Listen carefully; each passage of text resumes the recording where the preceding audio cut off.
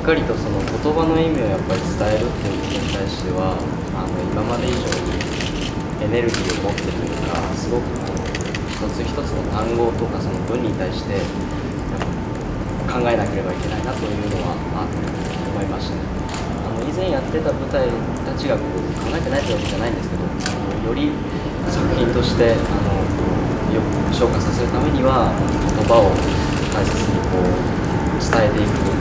届けていくっていうものとこうやはり見ている人に何かを伝えるっていうものが非常に大切だなと思ってそのあの表現の幅みたいなものは非常にあの大きくならないかなというのは思いました。はい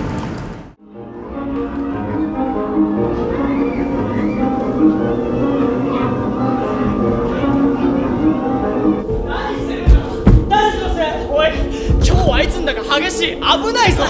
ダルジロスダルジロスが何だってんだ。加勢してやんなきゃ。あ？加勢してダルジロスを助けてやるんだ。おい何言って。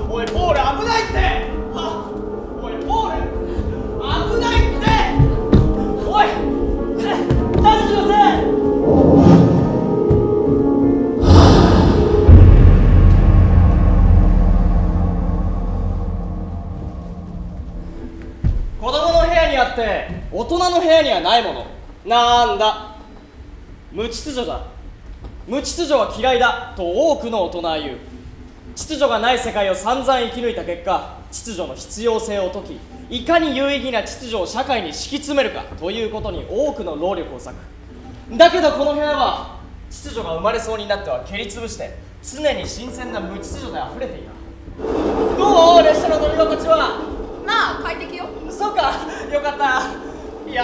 がこんなにおとなしくこの旅行に同意してくれるなんて思ってもいなかったからさ。あらどうして？